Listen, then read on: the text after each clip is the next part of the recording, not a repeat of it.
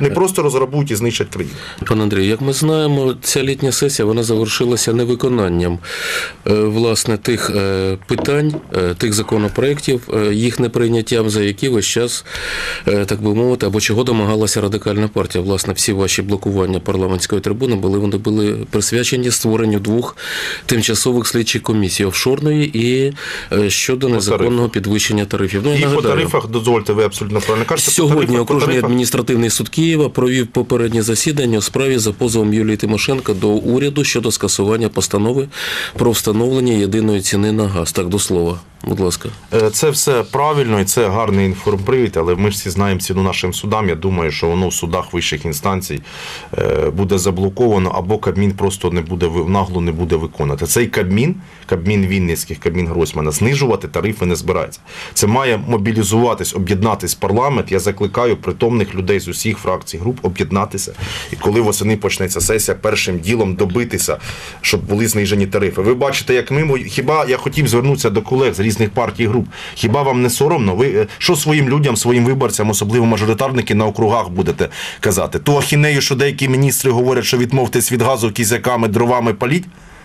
Ми стоїмо 20 чоловік місяць блокуємо. Так нам ми можемо людям в очі дивитись. А ви як їм будете дивитись? Ви хочете, щоб вас на вилах винесли разом з Порошенком, як Януковича винесли?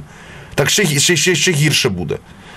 І насправді це страшно, що відбувається, тому що влада своїми недолугими діями, в першу чергу в економічній політиці, вона провокує третій майдан, який може закінчитися дуже плачевно для держави. Е, Фактично два тижні е, Верховна Рада не працює. Е, На ваш погляд, може скластися ситуація, яка призведе, ну про це власне говорили ще наприкінці роботи літньої сесії, про те, що офіційно закривати її не будуть, оскільки, мовляв, в будь-який момент може виникнути привід, підстава для, так би мовити, проведення позачергової сесії. На вашу думку, ситуація Ну так це вже мені здається вже і не так важливо. Поясню, чому парламент все одно не дієздатний. Ми маємо парламент, який А не працює, Б не відповідає громадській думці підтримки політичних сил. В е, парламент, який не абсолютно витирає ноги об людей.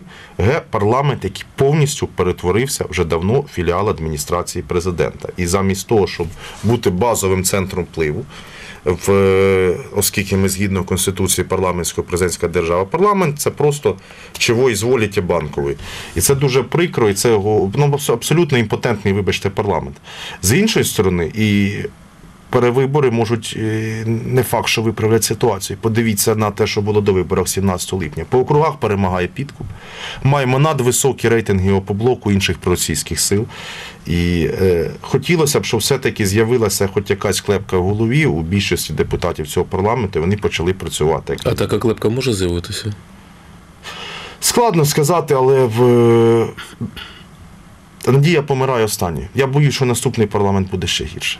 Хоча цей, цей парламент, мабуть, от цей парламент це парламент парадоксу, тому що він, очевидно, найкращий з усіх, які були по складу, багато достойних людей з фронту, з Майдану, багато сильних юристів, багато молодих людей, багато е, людей з громадського сектору. Але водночас цей парламент найгірший, мабуть, який був, тому що він не відповідає тим викликам, суспіль... е, які від нього вимагає суспільство після Революції Гідності. Парламент, який е, не прораховує ті ризики, до, до чого призводить його бездіяльність. Парламент, який об'єднується в шкурних е, питаннях дерибану, а не в інтересах захисту людини і захисту держави.